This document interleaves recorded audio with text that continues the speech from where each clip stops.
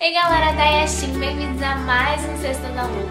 E o vídeo de hoje é especial para as meninas, porque a gente vai falar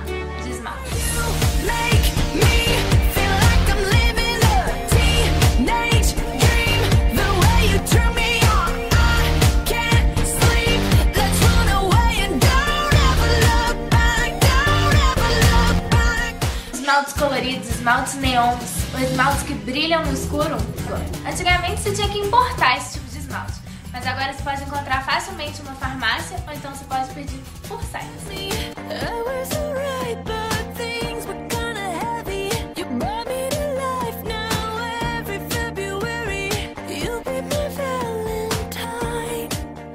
No verão você pode usar cores mais chamativas, tipo azul, laranja, rosa, rosas mais fortes cores mais brilhantes.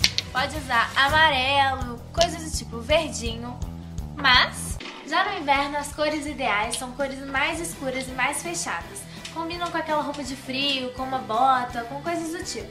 Então você pode sempre optar por usar um pretinho básico. Olha que bacana. Um marrom, que fica muito lindo. Ou então cores que eu gosto muito de usar na unha, tipo roxo e azuis variados.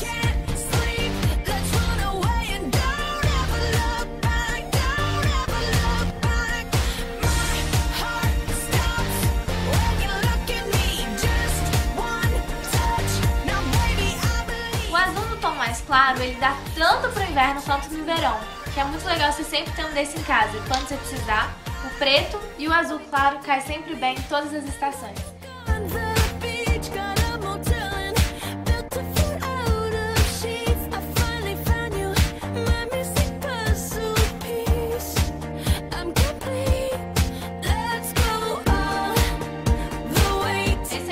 espero que vocês tenham gostado, que vocês tenham aprendido um pouco de esmaltes.